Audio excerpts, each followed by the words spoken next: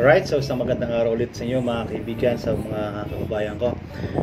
Kuya Balto po muli nagbabalik para po sa isang topic na naman na may kinalaman sa ating pong pwede pagkakitaan online. So ito po yung patuloy na pag-share ko po patungkol sa paano ba tayo mag-business sa online sa pamamagitan ng Shopee.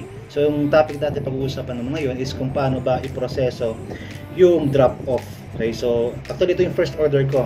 So ang ginawa ko sa aking first order is drop off ko. So ito yung talagang actual na experience ko na gusto kong i-share sa inyo.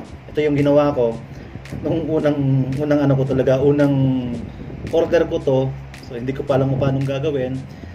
So ang napili ko is drop off. So ganito paano gawin. Okay? So pupunta tayo sa ating topic ngayon. Eh bakit ko ba ginagawa to pala? So ginagawa ko to kasi nakita ko kagabi lang napanood ko sa balita dahil nga sa extension date ng ECQ is nakita ko ang dami namang walang trabaho. So last year kasi nung nung pandemic, ito po yung naging business ko. Ito yung naging pinagkakakitaan ko. So wala akong trabaho, ito pinagkakitaan ko. So, I, I think it's about time na gusto ko i-share sa inyo sa mga nanonood na to na pwede tayong kumita sa online sa pamamagitan ng platform na Shopee later then pag-uusapan natin kung paano ba tayo mag-start ng business sa Shopee kahit wala tayong product pa na hawak. Okay, gusto ko rin share sa inyo kung paano tayo makapag-start ng business dito sa Shopee kahit wala tayong product pa na hawak. Pero pwede ka na makapagbenta. Okay, so isa sa pag-uusapan natin yan. At kung ikaw ay first time pa lamang po sa ating pong channel, please uh, kung feel mo mayroon ka makukuha, matututunan sa ating channel na to, subscribe po tayo sa ating channel and uh, pipilitin ko na hindi sayangin yung oras mo sa mga topic natin pag-uusapan all throughout starting today. Okay? So, meron po akong playlist dyan ng Shopee uh, topics. So, pwede mong i-browse yan. Meron kang matututunan dyan. Of course, I believe na meron kang matututunan dyan and meron kang uh, pwedeng i-apply kung hindi ka pa nakakapag-Shopee. Okay? Again, it's for us, for all of us. So, ngayon po ay pupunta tayo sa ating topic kung paano nga ba gawin yung first order paano ba tayo mag-drop off ng ating mga first order. Okay? Okay, so proceed na tayo. Alright, pag nakatanggap tayo ng product, ng order ng product natin, so mag-a-appear po yan sa ating pong online email, sa ating email po na nakaregister sa Shopee. At kung makita po natin, pag binuksan po natin ito, lalabas po yung details ngayon ng order na to. Okay, so dito po makikita kung sino ng order, kung binayaran na ba to or COD at ano yung order niya. At kung magkano pati yung pati yung kanyang order. At ito makikita din natin sa ating pong Shopee uh, account. Okay, so pag binuksan po natin yung ating Shopee account later, is makikita po natin yung ating pong yung, ito po, ito po yung order na to. Okay, so buksan natin yung Shopee natin. Ayan, ito po. Ito yung aking first order. So pag binuksan ko po itong view order details, So, ito po nakalagay lahat dito. So, makikita po natin yung kailan siya at saka dito nakalagay na binayaran na siya. Titingnan natin yung details dito para makita natin kung sino nag-order, saan i-deliver. Ayan, sa view order details lamang po. Alright? Ayan. So, ito po. Dito makikita po natin yung rating ng, ng bumili sa atin. Ayan. So, makikita natin yung rating, makikita natin lahat ng mga details, kung saan i-deliver, kung kano. Ayan, so makita po natin dito. At ang gagawin po natin ngayon is arrange shipment natin. Okay, sa ating shipment po, makita po natin dalawa dito nakalagay, I will drop off at I will arrange pick up. So yun ang aking pinili that time kasi nga first time ko is gusto ko i-drop off kasi gusto kong ma maibigay, makita doon sa sa ano sa may pagkita sa kanila makadalaw mismo. So click ko lamang po yung I will drop off. And okay na siya, click ko lamang po ngayon yung confirm. Pag-click ko ng confirm, alright, so ito may details ito ng mga nakalagay, kung makikita po natin, may mga nakalagay po dyan na details. Ito po, uh, lalabas po agad yung tracking number po natin sa GNT. At ito po, atin pong i-take note, itong nakasulat dito, na tayo po pala ang pinapag-print ng waybill ng Shopee, ng JNT. So dito po meron pong branches na makikita kung saan po pwedeng uh, i-drop yung ating pong mga items. Pero ito po, take note of this mga kaibigan. Access the seller center at pinapaprint sa atin yung uh, waybill. Ito po, yan. Access the seller center and print get get each ayan airway bill at tayo ang pinapag-print pinapag-secure nito Ayan, right? So, paano ba yun ma-access? Ito lang po, print mo lang itong print waybill. Pag i-click mo yan, ayan, lalabas yung waybill na yan. Pwede mo yung i-save sa USB kung wala kang printer at saka mo ipaprint doon sa mga computer shop. So ako, pinaprint ko lang sa computer shop. Nag, nag gumawa ko ng dalawa o tatlong kopya nito, if I am not mistaken. Ayan, so pagkatapos nun, is ang ginawa ko po is prepare ko na, na-ready ko na yung item. Okay, so inayos ko na yung item, nilagyan ko ng thank you uh, sticker, thank you attachment, uh, cheche burache para pagpa-show ng aking care sa ating client. Alright. Okay, so by the way, ito pa lang mga ito, itong JNT pouch na to is kinuha ko siya prior nung nagsisimula pa lamang ako magbenta. Pumupunta ako sa sa JNT branches para magbenta para humingi ng mga pouches. At ito ginagawa ko dito pinipicturean ko po siya at sinesend ko sa client. At sisend ko siya sa client para makita niya na okay siya uh, nang nang ready ko, okay siya. Kasi ito'y kasagsagan din ng mga pangyayari sa ano eh, sa JNT eh. So, yung mga issues sa JNT. Again, kinuha ko po yung pouch na to sa mga branches. Pumunta po sa branch, nanghingi po ko ng mga pouches. I think tagli lima to, limang small, limang medium, limang large ang kinuha ko. And, alright.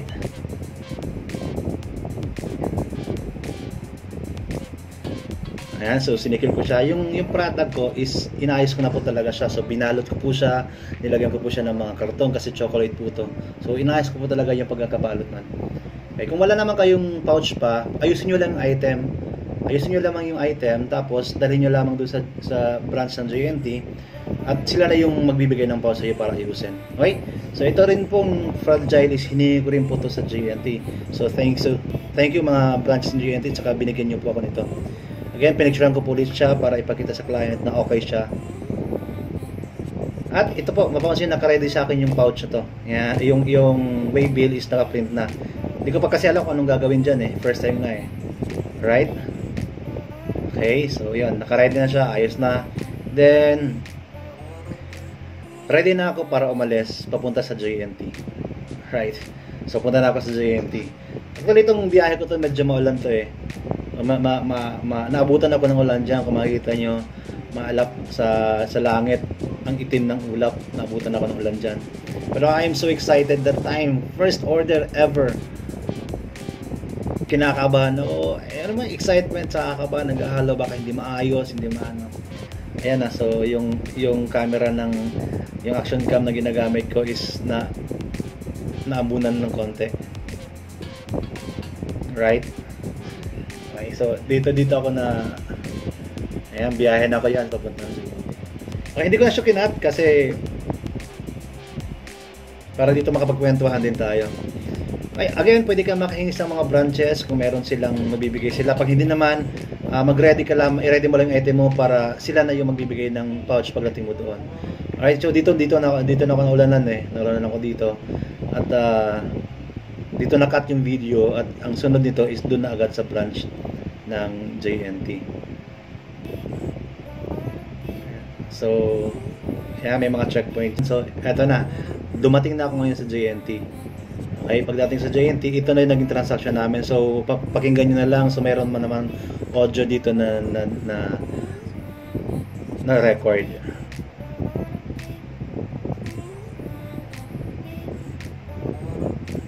Ha? Hindi nga, isa lang po eh. Yung sa, Ano, na- kaya mo ba ito sa to? Live? Ano ba ito? yung sa Shopee po. Ah, doon siya siya na Shopee? Opo. Shopee naman pala. Kala ko regular. Okay, kaya tayo. Eh, paano yun? Dito yung ipiprint, di ba? Yung ganito? Pwede yan, sir. Okay na Pwede yan. Bigyan lang po Sige na lang natin. Kala ko regular. eh. Pag regular, kaso.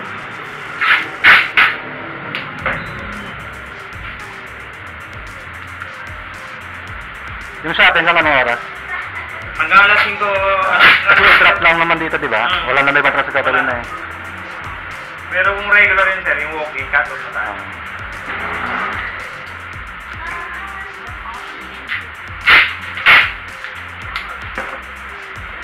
may makukuha akong papel yan? Sir, May makukuha akong papel? may, ah, may hingi ka ng receiver nito, sir? Opo, pagkano? Sige, sir, sir. Ay, picture na lang, sir. Yung, Ito, sir. Ah, okay na yan. Magdadala ka na yan. Picture natin na lang, sir. Nerd, baril yung nerd. Okay. Picture na lang, sir, para may copy ka na na ID. Okay, hindi mabubura. Hindi, ako meron naman ako. Ano yan, sir? Pareho naman yan. ah, ito lang yan, sir. Paras lang yan. Ah, wala na ano, walang ta- tatanggap na ano. Okay, sige. Pero mas maganda, sir, picturean nyo. Oo. Ma-well ano siya. Para na-dikit na, na, na-dikit na doon. Ganun lang pala yun. Ako yung first order ko to sa Shopee. Hmm, sige, sir. Lagi kasi akong Lazada. Ngayon ako nag-Shopee. Ano sir? Yung chocolate yan na medyo fragile. Madaling ma... Naba, nabal, na balo, nabalot pa maayos. Oh, ano yan? Mga karton yan yung ano. Ah, okay. Sige, sir. Thank you, sir. po. Tapos pag i-check sa online, makikita na yan doon. Opo, sir. Mag-notify na. Salamat po. Thank you, boss. So, ganun. Ganun kabilis. Transaction.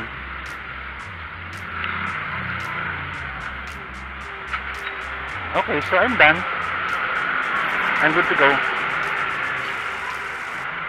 Thank you, Lord.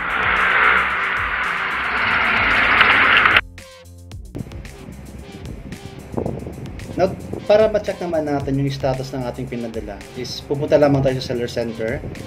Okay, punta na tayo sa seller center. Alright, and dito po sa my orders. Alright, so dyan sa my orders, pag-click mo yan, punta lamang po tayo sa shipping. So dito na yung mga status ng mga orders na dapat, ano ba yung dapat dalhin? Ano, ano ba yung mga status na meron siya? To ship ba? Sa shipping? Completed? O yan. So ang ating item na pinadala is ang status dito ay ship na. Right? So ship na siya.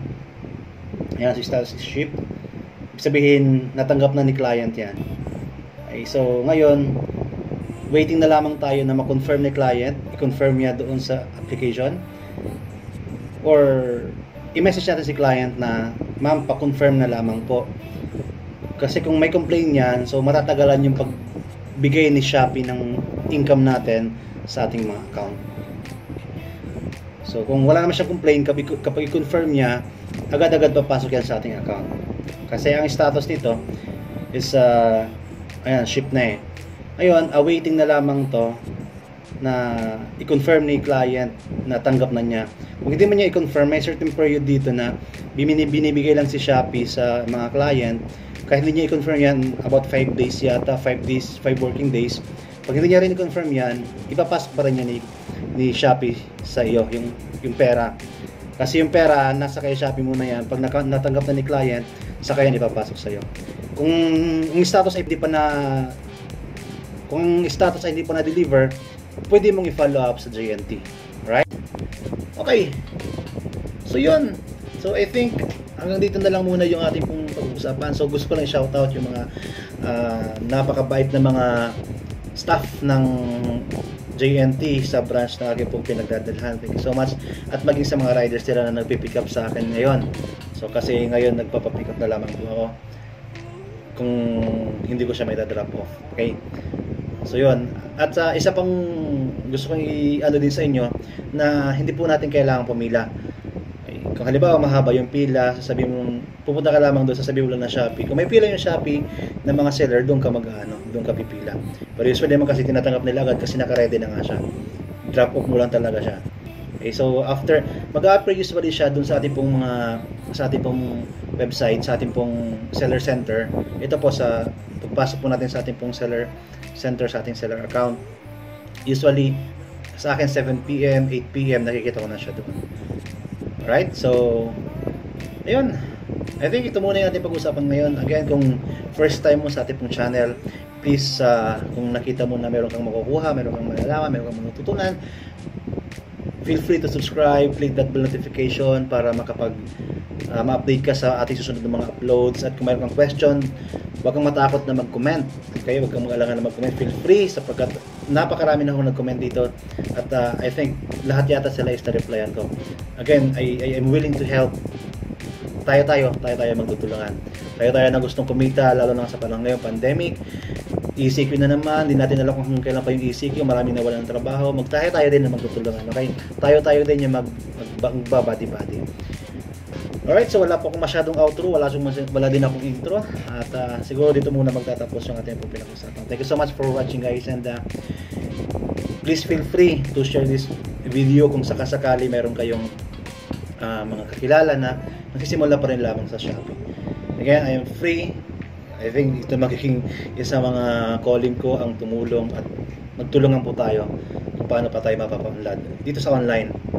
The world is changing na papunta sa online. We must adapt sa new changes na to. Okay, thank you so much again. Isang pa, Kuya Alberto. At nagsasabi na please huwag kayo mawala ng pag-asa. Lahat tayo makakasurvive din. Kinaya mo noon, kakayanin mo rin ngayon sa pagkakasama natin, Panginoon. Bye-bye.